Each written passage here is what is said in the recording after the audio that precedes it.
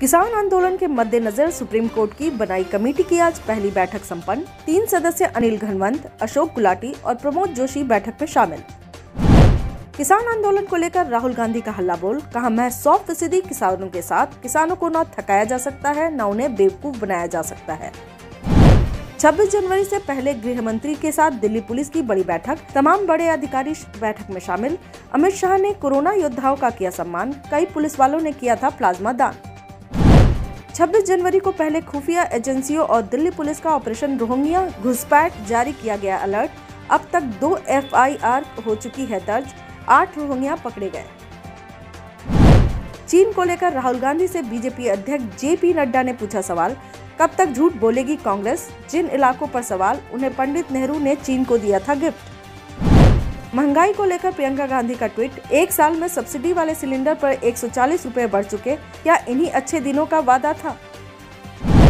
दिल्ली में टीकाकरण की सुस्त रफ्तार पर बोले स्वास्थ्य मंत्री सत्येंद्र जैन, वैक्सीन लगवाना अपनी मर्ज़ी से है सत्येंद्र जैन ने दी जानकारी, पंजीकृत लोगों में से चौवालीस फ़ीसदी लोगों ने लगवाया वैक्सीन।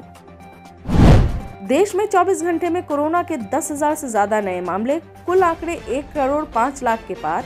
देश में 24 घंटे में एक लोगों की कोरोना से मौत इस समय दो लाख से ज़्यादा एक्टिव केस। दिल्ली में 15 कौओं के सैंपल में बर्ड फ्लू की पुष्टि एक हफ़्ते पहले हुई थी मौत। रिपोर्ट आने के बाद आम लोगों के लिए बंद किया गया लाल किला। 26 जनवरी तक प्रतिबंध। दिल्ली का चिड़ियाघर भी बर्ड फ्लू की वजह से है बंद।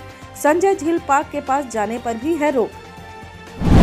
ब्रिस्बेन में टीम इंडिया की बेमिसाल जीत, दो एक से जीत ली टेस्ट सीरीज़। अजंक्य रहाणे की कप्तानी में टीम इंडिया ने रचा इतिहास, ऑस्ट्रेलिया को तीन विकेट से हराया।